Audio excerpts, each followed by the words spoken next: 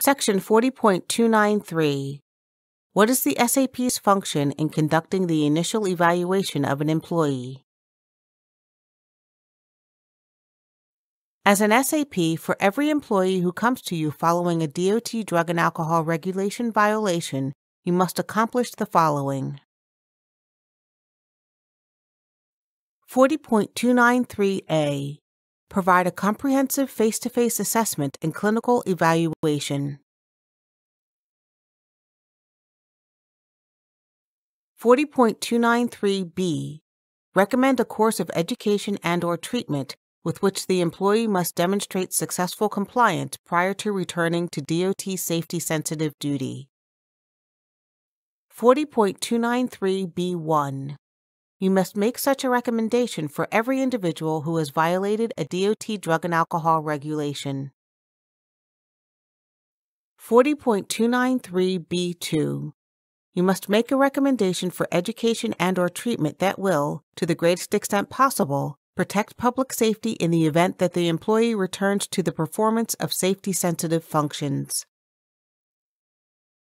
40.293c Appropriate education may include, but is not limited to, self help groups, e.g., Alcoholics Anonymous, and community lectures where attendance can be independently verified, and bona fide drug and alcohol education courses.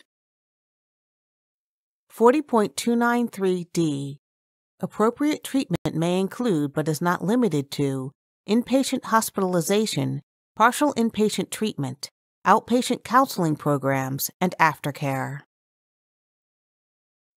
40.293e You must provide a written report directly to the DER highlighting your specific recommendations for assistance. See Section 40.311c. 40.293f For the purposes of your role in the evaluation process, you must assume that a verified positive test result has conclusively established that the employee committed a DOT drug and alcohol regulation violation. You must not take into consideration in any way, as a factor in determining what your recommendation will be, any of the following. 40.293F1 A claim by the employee that the test was unjustified or inaccurate.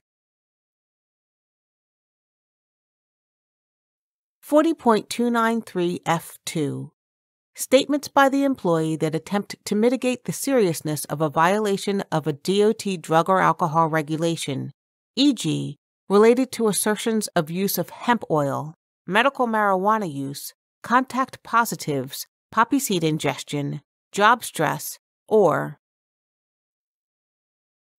40.293F3 personal opinions you may have about the justification or rationale for drug and alcohol testing. 40.293G In the course of gathering information for the purposes of your evaluation in the case of a drug related violation, you may consult with the MRO. As the MRO, you are required to cooperate with the SAP and provide available information the SAP requests. It is not necessary to obtain the consent of the employee to provide this information.